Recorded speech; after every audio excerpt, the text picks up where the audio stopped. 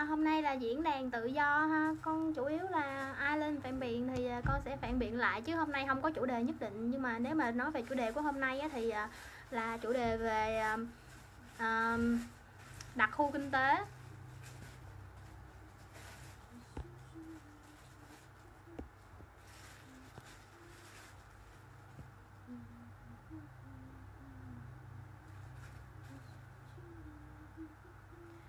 Để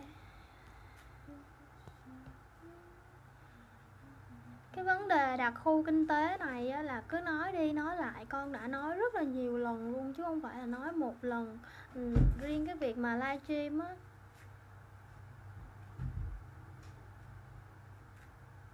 Út mót ơi à, tôi không biết chị là gái hay trai nhưng mà bạn kêu á, là nghĩ sao ở gái?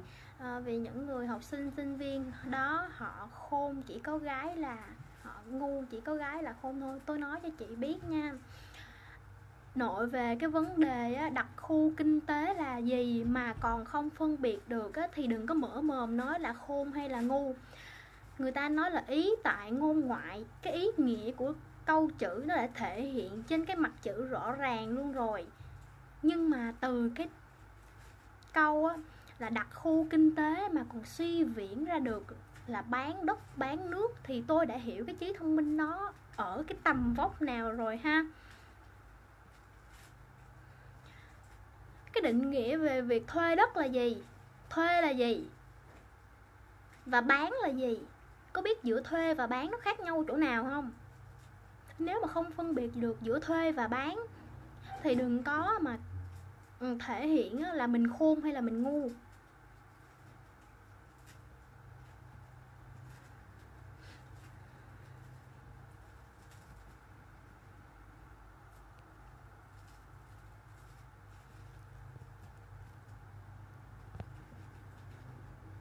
Bây giờ nó là thời đại mới không phải là cái thời mà uh, cổ lỗ sĩ cái thời cổ lỗ sĩ cái thời ờ, uh, kỷ băng hà hay là cái thời khủng long nữa hiểu không?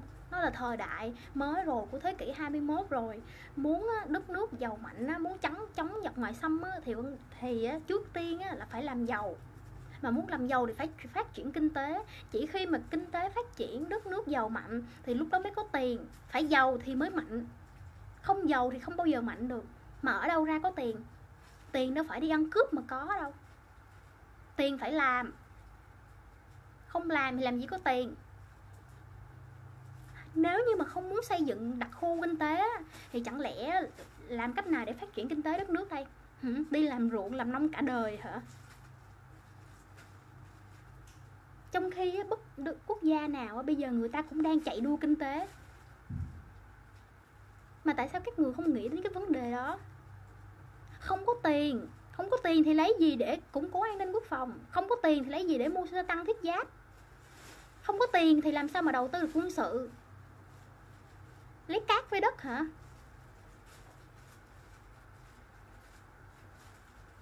Đòi bài trừ trung quốc. Trung quốc bây dân trung quốc bây giờ nó chiếm một phần năm thế giới. Mà vô trung quốc á nó vẫn đã và luôn. Sẽ là cái đối tác kinh tế đối tác chiến lược quan trọng đối tác lớn của bất kỳ một nhà kinh doanh nào mà đòi bài trừ Trung Quốc.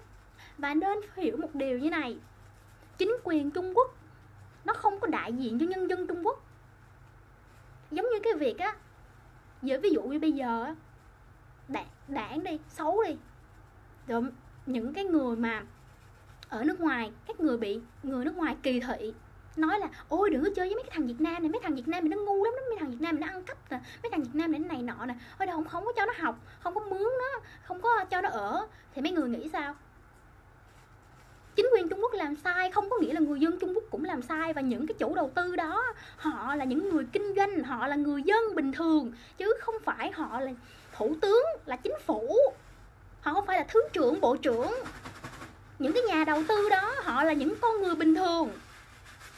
Họ là những người kinh doanh, những người làm kinh tế. Họ không có làm chính trị. Và họ thuê đất để xây dựng, để làm kinh doanh, để kiếm tiền, để phát triển kinh tế. Họ đại diện cho công ty tập đoàn của họ, chứ không có đại diện cho tổ quốc, không có đại diện cho chính phủ, không có đại diện cho đảng cộng sản trung quốc. Cho nên đừng có mở mồm ra kêu để cho trung quốc thuê là bán nước, bán đất.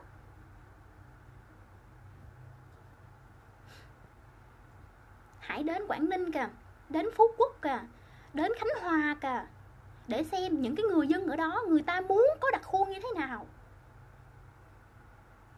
Người ta muốn có đặc khu ra sao? Người ta còn cầu mong, cầu xin có đặc khu, để cho vùng của họ phát triển, để cho cơ sở hạ tầng đi lên, để có cơ sở vật chất đi lên, để cho gdp của họ phát triển để giải quyết được vấn đề việc làm. Tuấn trần ơi anh kêu á, là đặc khu chỉ hợp với thế kỷ vậy hơn 140 quốc gia và 4.300 cái đặc khu kinh tế đó nó đang bị lạc hậu và đổi thời hả? Trong khi cả thế giới người ta đang ráp riết phát triển còn đất nước mình á, thì đòi hả bế quan tỏ cản hả?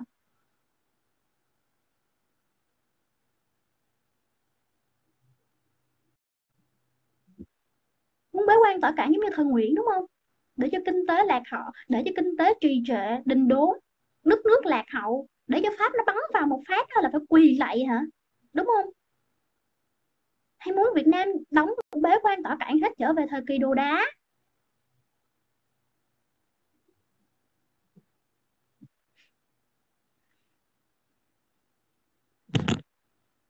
Nếu mà muốn Việt Nam á, trở về thời kỳ đồ đá thì tôi nói thẳng một câu nè vô chuồng chó mà ở với chó đi, chứ đừng có ở với con người. Con người Việt Nam, người nào cũng muốn giàu mạnh hết, cũng muốn phát triển kinh tế hết, không có người nào muốn nghèo hết.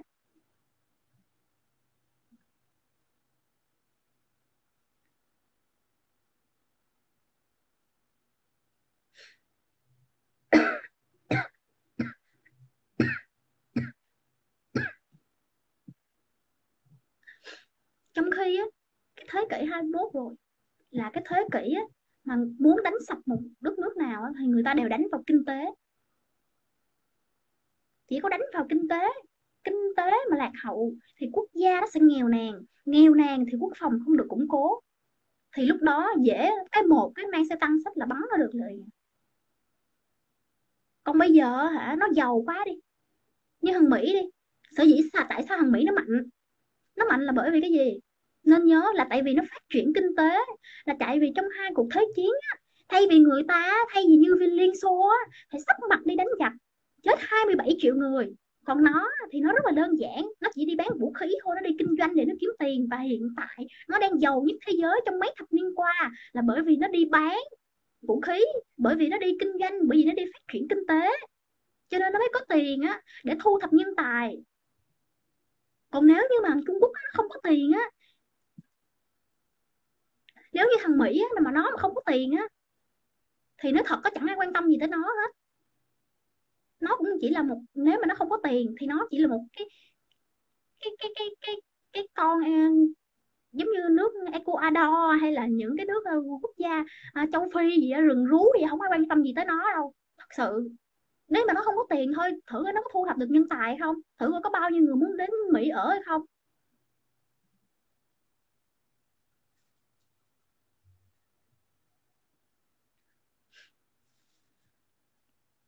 Còn hả? Thằng nào mở miệng thằng nào con nào mở miệng ra kêu á hả? Là 90 triệu dân Việt Nam không bao giờ đồng tình với cái việc hả mà hả xây dựng đặc khu kinh tế.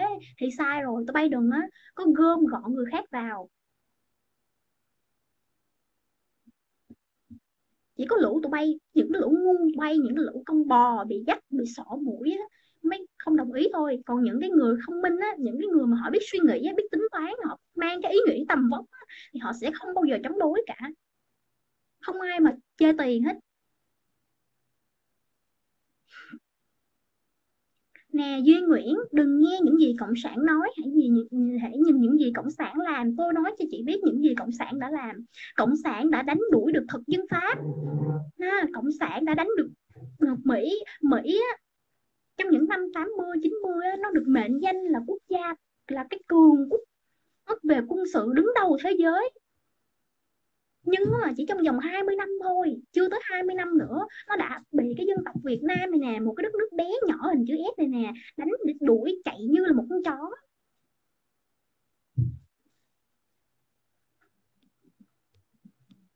Đó cái đó là cái cái cách mà cộng sản làm đó. Hiểu không? Cộng sản đã làm được những điều đó. Cộng sản á, đã tiếp nhận bốn cái tiền đồn và ừ, ở ngoài biển Đông vào năm 1975 và đến hiện tại cộng sản đã cướp được ha cướp được thêm ba mươi mấy gần 40 cái tiền đồn á đã trở thành người nắm giữ nhiều. Ừ, nhiều cái tiền đồn nhiều và nhiều cái đảo nhất ở trên biển Đông hiện tại đó đó là những gì cộng sản làm đó. Cộng sản đã đưa cái đất nước Việt Nam này nè từ một cái đất nước là một kẻ bị ăn cướp bị bóc lột, là một từ, một cái đất nước thuộc địa, trở thành một nước nước độc lập. Cộng sản đã đưa nền kinh tế Việt Nam lên đứng thứ 40 thế giới, quân sự đứng 16 thế giới. Đó là những gì cộng sản làm đó.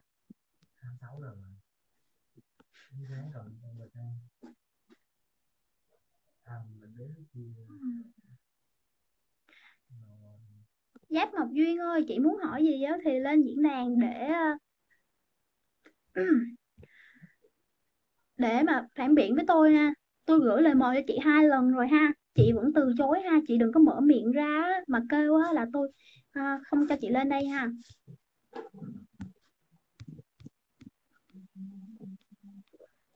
Diện tích á, diện tích ít nhất của đặc khu kinh tế là trên 100 ừ, km ừ, 100 nghìn mét vuông.